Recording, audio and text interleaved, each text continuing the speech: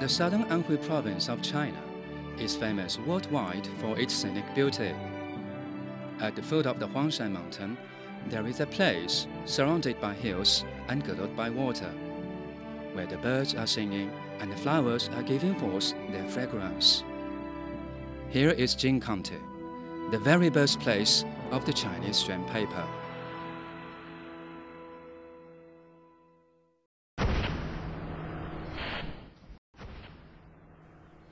On August the 8th, 2008, the whole world has witnessed a fascinating story told by the Chinese people on the opening ceremony of the Beijing Olympic Games. And the story is initiated by a sheet of gently unfolded Xuan paper.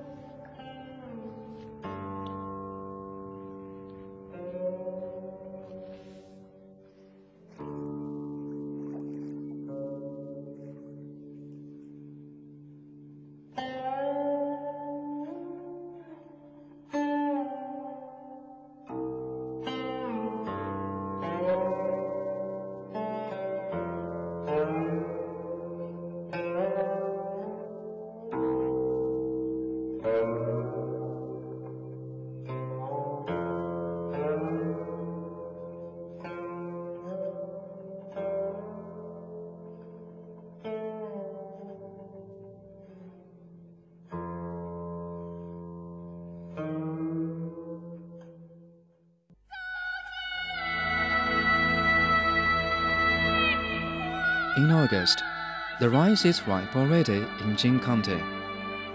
It is a type of long straw rice and is growing in the field abundant in sands. Therefore, it is also called sandy-land rice.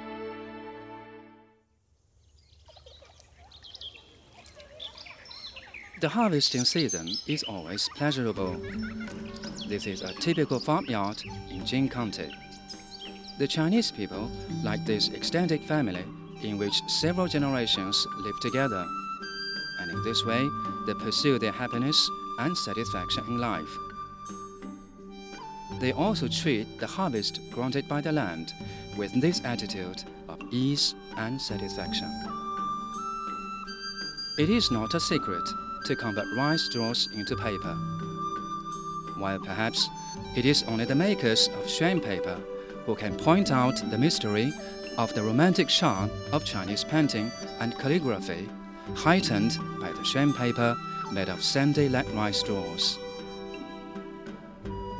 Another secret of making the Xuan paper lies in this tree called Wingceltis, which is common in Jing County.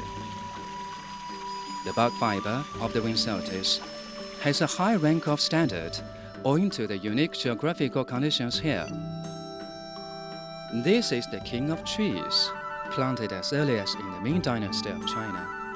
This Wingceltis has undergone 400 years of wind and rain, and is still displaying its glittery green and luxuriant prosperity. Here is a field of young Wingceltis. Following the periodical duration, the locals lumber the trees once every three years.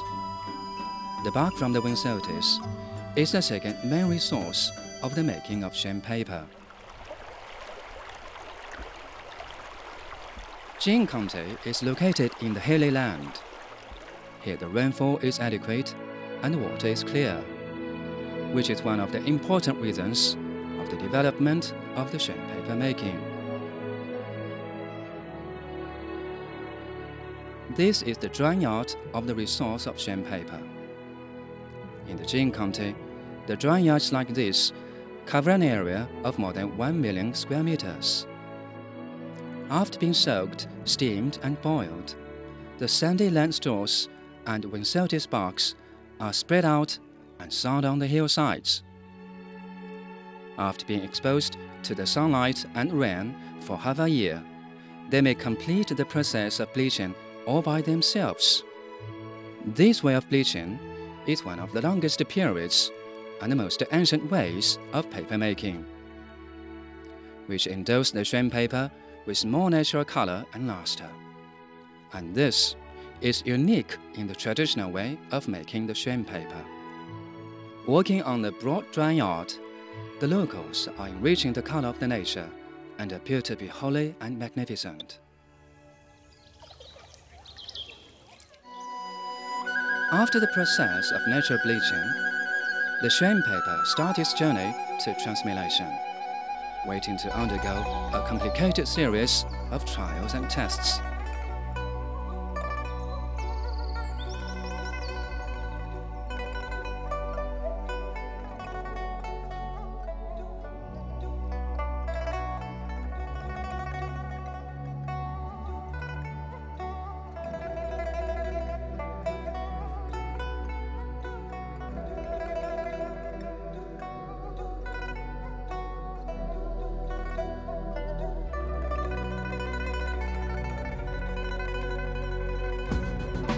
Dredging up the paper is the first step of making paper. The thickness, uniformity, and integration of the paper all depend on these dozens of actions, which look simple but turn out to be subtle. The Xuan paper is made in this pure handicraft from the first day of its appearance. This unique way of paper making is inherited among generations through oral instruction together with its primitiveness and wisdom.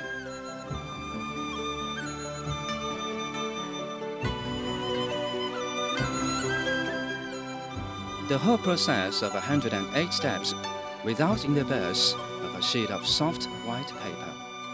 This paper has contributed to the continuity and inheritance of the Chinese spirit for several thousand years the Xuan paper's quality of leading ink and resisting ink with water makes the paintings and calligraphy turn out to be vivid and incisive.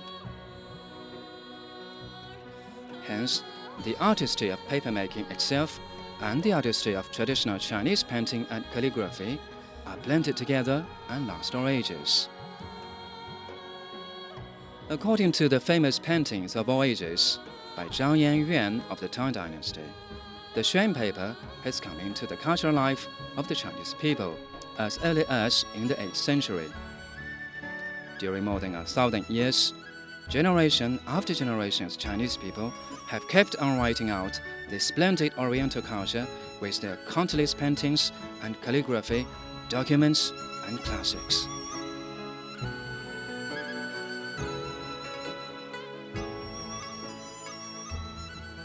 To practice painting and calligraphy on the Xuan paper has already become a way of life of the Chinese people, who are enjoying the achievement created by themselves and expressing their elegance and preeminence in their pursuit of happiness.